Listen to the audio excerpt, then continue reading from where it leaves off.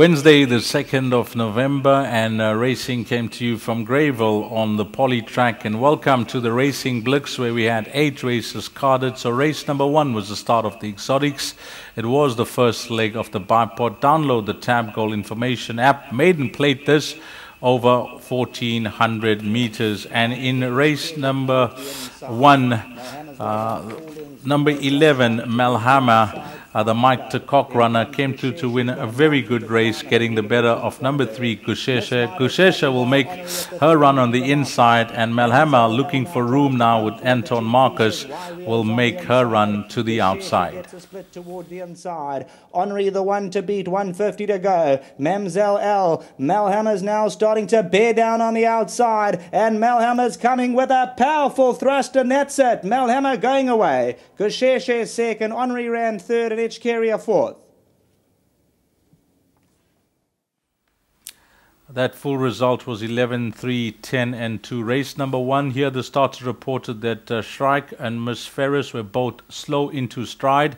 Flight Club, uh, the first timer, lost one length. Veterinary surgeon Mamselle L cut into left hind and reported coughing was Miss Midas. Then on to race number two, the start of the place accumulator, all to come fillies and mares 66 handicap. This was over 1200 meters. And uh, the two principals look to be Icy Spirit and La Diva. And Icy Spirit will make uh, her run uh, towards the outside of the track, coming through to collar La Diva. Between got a length and a quarter to make up. Miss Brody and Icy Spirit. La Diva comes alive at the 200 meter marker. Icy Spirit and Miss Brody's trying to cut them down. But La Diva hit the front. Ibtihaj is on the inside inside. La Diva in front. Icy Spirits coming late on the outside. La Diva could be claimed because Icy Spirits going to get her. La Diva second. Miss Brody and Asnarak. That full result, race number two, four, five, two, and 11. Race number two, I hear the starter reported that Ibtihaj and Make uh, My Own Luck were all slow into stride. Miss Brody and Tyrant's Jet were stubborn uh, to load, and Black Oleander lost one length. Veterinary surgeon was kept busy. Online, nothing of his detective. Trainer Duncan Howells was advised to report back. Summer in the city, nothing of his detected. The same with Tyrant's Jet, and cut into left four was Ibtihaj on to race number three, which was the start of the pick six. The Saddler's Arms restaurant merit rated 74 handicap. This was over 1200 meters. 101 has come through here. Anton Marcus for God Puller, beating number 9, New York State of Mind, and number 2, Aramos. They fan across the track. 101 extreme outside, got his three lengths to hunt down. Victory team now being swallowed up. Panga Panga. 101's coming through on the outside. Hip hop dancer, great expectations. New York State of Mind, you're the one. 101 and Aramos on the outside, but be worth 101. 101 and Anton Marcus. 101, that's Bullseye. New York State of Mind and Aramos and Photo second and third, and then you're the one. Maybe on the outside, Aramos might put his. A good win there, Anton Marcus, guard puller, 10, 9, 2, and 8. It got pretty tight for that uh, second position, but the judge had a look at that photo. 9 New York State of Mind. Here, the starter reported that Ocean Drive South was slow into stride. Uh, you're the one and 101 boat losing one length. The veterinary surgeon victory team not striding, uh, sorry, not striding out. Great expectations not striding out left hind. And then in hip hop dancer, abnormal respiratory noise. And uh, that was uh, uh, race number three, the start of the pick six.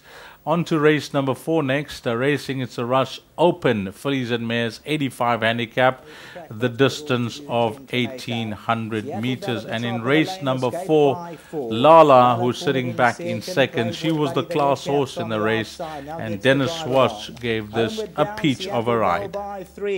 Lala's travelling in second. She's got her three and a half lengths to make up. Seattle Bell at the 300. Here comes Lala, coming home confidently on the outside. Mamacita, Playboy Buddy, but Lala at 4 and 60 has burst away. This is the class package, and they're not going to beat Lala. Lala all out to win by two. Playboy Buddy second, Mamacita, and then Raining Wave.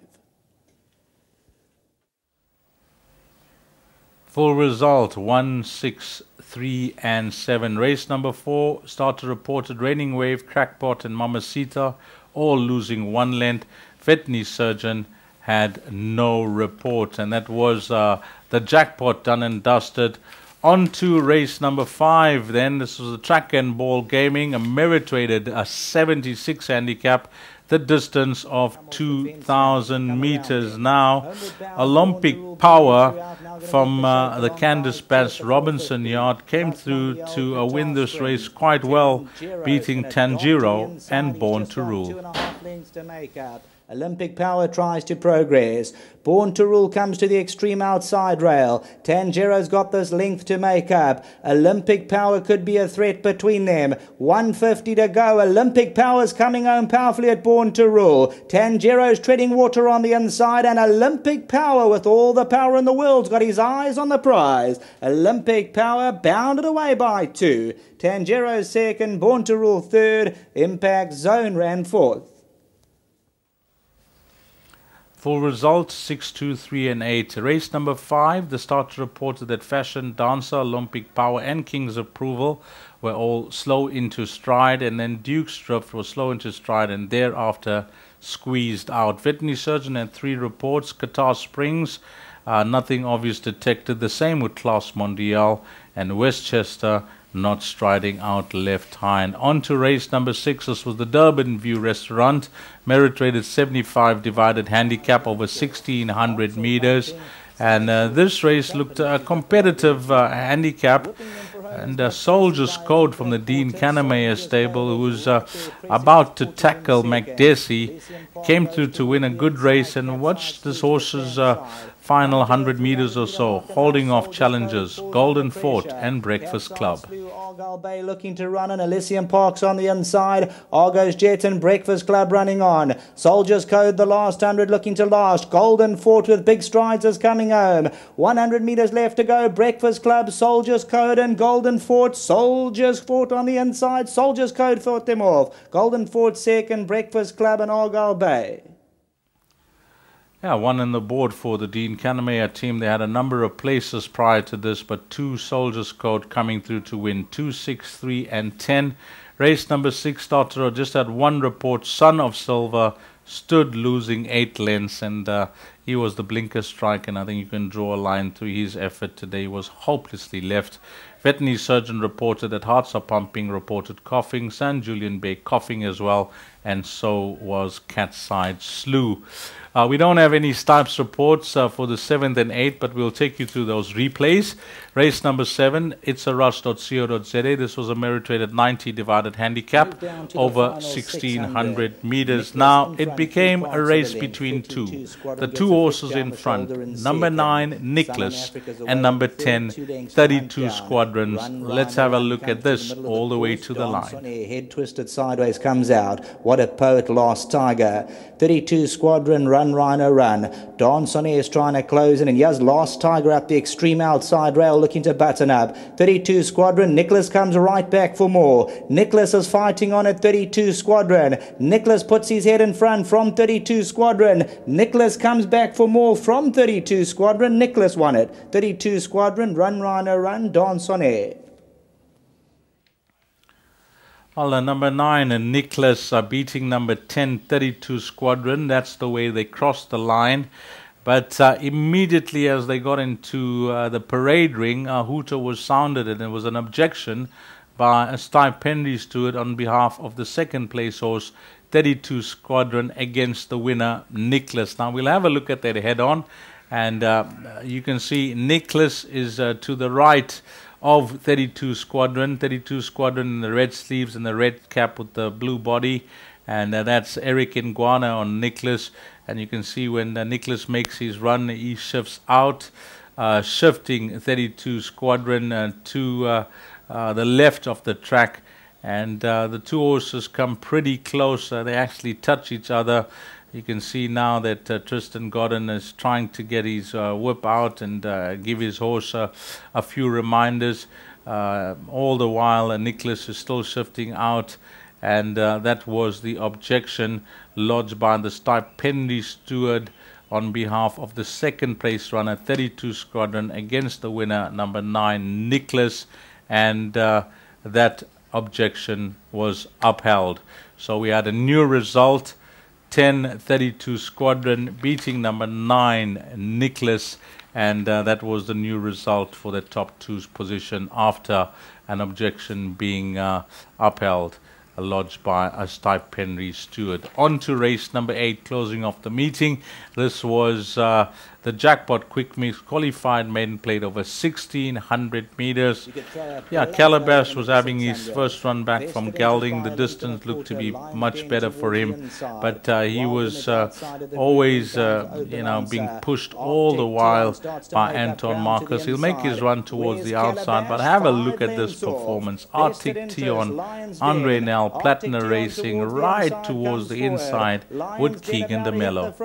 Arctic Tion's now warming up on the inside. And here comes Arctic Tion with a good looking challenge. He claims Lion's Den and vested interest. Arctic Tion by a half from vested interest. That's the way they stayed. Arctic Tion, vested interest second.